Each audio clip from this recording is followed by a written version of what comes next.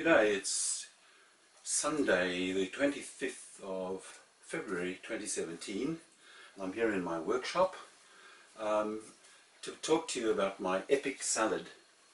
Um, I think somebody dubbed them, I didn't call it my epic salad, but the idea is to feed the microbiome in my colon, all those bacteria and other creatures that live in your colon and now have been discovered to have a huge impact on your health. Um, I've been on this kick for about three years now, um, and it's become, you can't open a newspaper these days without finding reference to the microbiome.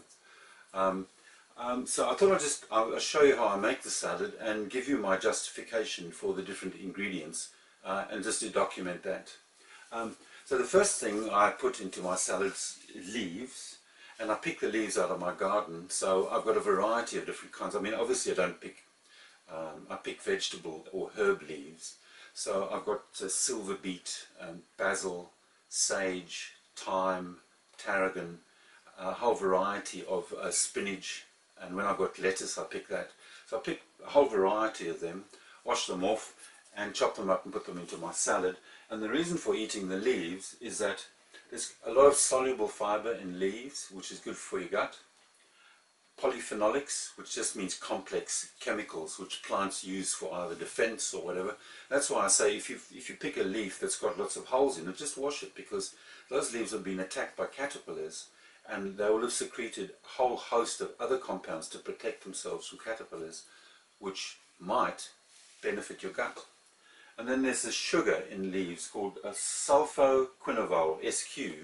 It's a sugar that's not present in many, uh, many other foods and it's very important for bacteria. Apparently bacteria love this component of leaves, uh, probably evolved from a very long time ago. The next thing I try and get into my salads, antioxidants, and among them are the anthocyanins. Um, those are the things that make um, purple cabbages and beetroots and things like that. So anything brightly coloured, you know, a capsicum, tomato, purple carrots, beetroot, uh, as I said, purple cabbage, anything like that, I try and, blueberries, I try and get that, those into my, my salad. And then there's some bacterial nutrients that I like to include. Um, acetic acid, which is vinegar. Butyric acid, which is hard to find. You, apparently, it's you can find it in traditionally made feta cheese, so the, the real Greek cheese. So I try and buy that for my salad and then lactic acid which is in fermented vegetables like sauerkraut and kimchi, you know, the, uh, the Korean fermented vegetables.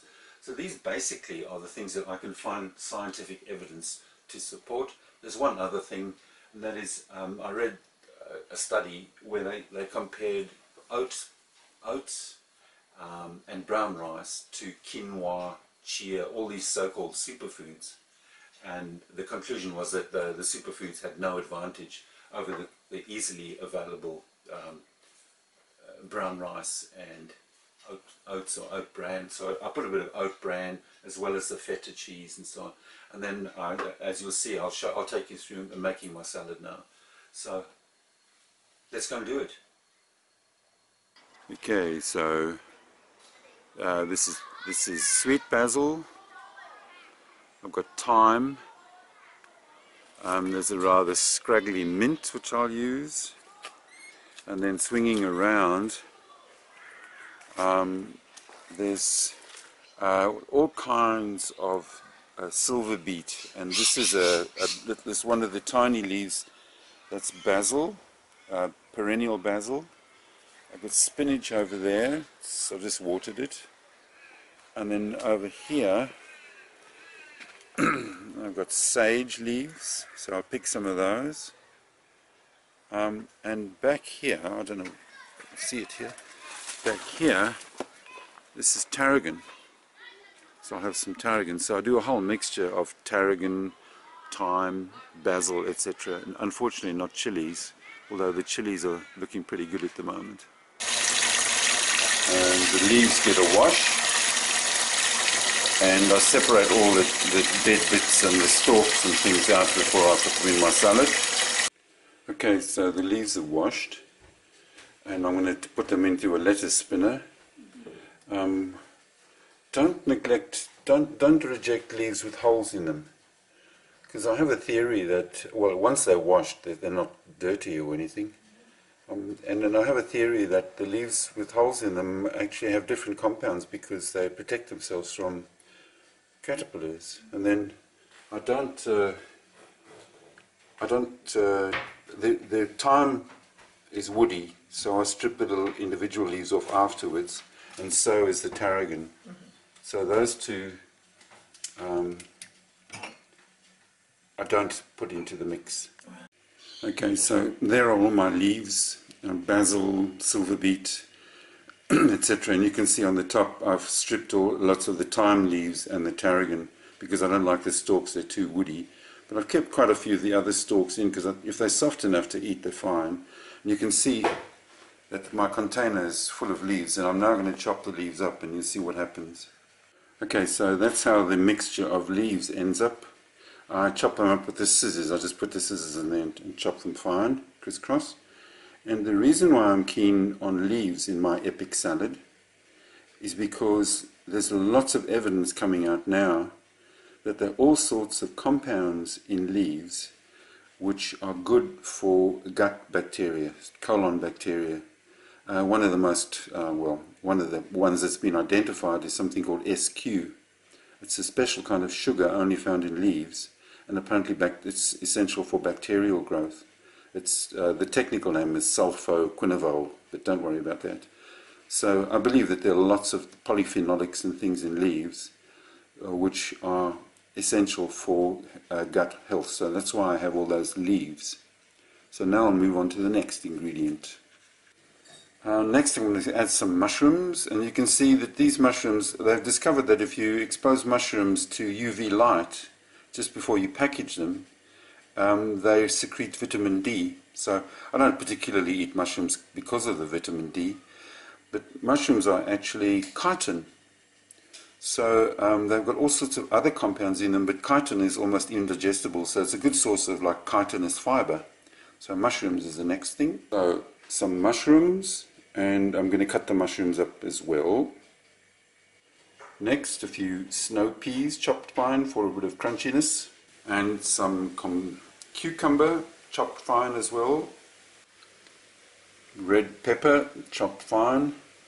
So if you can add anything that's brightly colored, like red pepper, uh, blueberries, tomatoes, purple carrots, sauerkraut, you know, red cabbage, anything like that, anything that's brightly colored indicates antioxidants. So get your antioxidants from the bright colors. okay, so these are purple carrots. I've taken the top and the points off of them, but you might be able to see they're, they're quite fibrous, and the fiber is good, but of course um, it's the purple color uh, that that's you know the antioxidant. So I don't know if you can get purple carrots where you are, but we fortunately can get, and they taste beautiful. They've almost got a floral aroma. So I'm going to grate these up into the salad now. So you can see there we are with the purple carrot grated and you can see it's getting more colorful with the red pepper and the purple carrot. The pigment in the purple carrot is called an anthocyanin if you're interested. Some chopped tomato.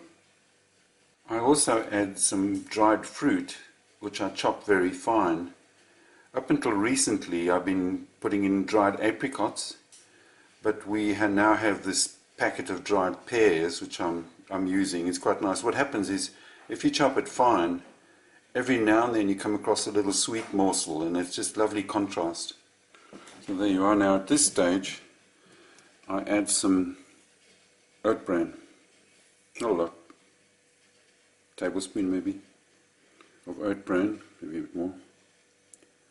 Because once again I've read somewhere that oat bran and brown rice is all you need. You don't need chia seeds or quinoa and all these things, they're just as good. So I add the oat bran to add a little bit of more uh, fiber. Um, I also would have put blueberries in here at this stage because they, you don't want to cut them up. But I don't have any blueberries, so just bear in mind blueberries are really nice, a nice fruity composite. Okay, next I'm going to add some feta and this is Edam cheese and I'm going to cut it into smallish blocks and mix it into the salad. Um, I read somewhere that one of the few sources of butyric acid is feta cheese, but it has to be the traditionally made feta cheese. So if I get a chance, I, buy, I go and buy a chunk of Greek feta, which is traditionally made. I'm going to chop these into small blocks and add them into the salad. Okay, so there we are with the cheese, and I'm going to mix the cheese into it all. And if you don't want the feta to all stick together, what I do is I sprinkle a little bit more oat bran on top of it and roll it around so that it doesn't stick stick together in big balls so you get individual pieces of feta. Okay, so you don't want this to taste like just a horse food. So what I, I add is I've got some Italian seasoning, lots of black, black pepper, cumin powder, and lots of turmeric. You'll see the turmeric in a minute where, where I put the turmeric. And then you can add chili or any spices to just make it more interesting. Um, add that to this mix. So I don't put salt in because there's enough salt in all of these plants that you don't need to add salt. I also add red cabbage. Um, it's, I think it's uh, Polish, but anyway, it's red cabbage for, for that uh, anthocyanin, that purpley pigment. So anything like with those colors is good, and, and it's quite flavoursome. The, uh, the red cabbage is sauerkraut, basically. You can also use kimchi, which is a Korean fermented vegetable. These are fermented vegetables, and these contain lactic acid. So the three acids you want to try and get into your gut is lactic acid, acetic acid, which is vinegar, and butyric acid, which I said comes in the, uh, the, the, traditionally made feta. So those three acids, your, the bacteria are short of those. So if you can get those into your gut with all of this, um, you get happy, happy bacteria. Okay, and now for the final touches. Um, this is actually a mayonnaise bottle, but it's got vinegar in it, just white vinegar. Um, olive oil doesn't have to be extra virgin olive oil, but olive oil, and then natural yogurt.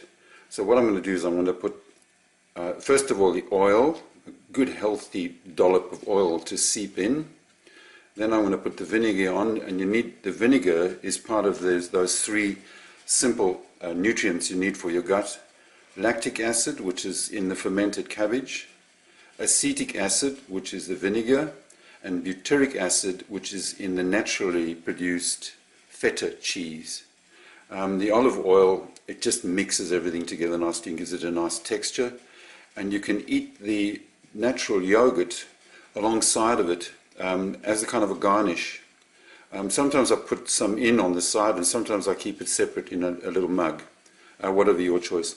You can vary this to chilies or whatever you've got uh, uh, to, to this, but you want to make it nice to eat, so you need to add a bit of spice and uh, flavour as well. So there it is, um, epic salad with all this scientifically, well, supported ideas about what would feed your colon community. Natural yogurt, and as I said earlier, Sometimes I'll put the turmeric in here to make it a bright orangey yellow. I'll mix it into the yogurt. But this time I'll just mix the turmeric into here. There's no need. So there you go. That's, that takes about an hour to make. And it's unlikely that you could finish this in one go. So I normally have, have it in two goes. You know, maybe lunchtime and tomorrow lunchtime. It'll keep for a day in the fridge. So epic salad for gut bacteria health. Signing off. Bye.